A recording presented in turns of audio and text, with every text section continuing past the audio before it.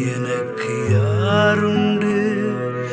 கலங்கின நேரத்தில் கரம் என்னை நடத்தியதே.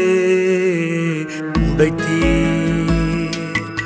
உருவாக்கி நீர் சிக்ஷித்தீ சீர்படுத்தி நீர் புடமிட்டீர் புதிதாக்கி நீர் பிரித்தீர்.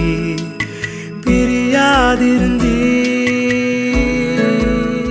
எனக்கு யாருண்டு? கலங்கின நேரத்தில் கரம் என்னை நடத்தியதே.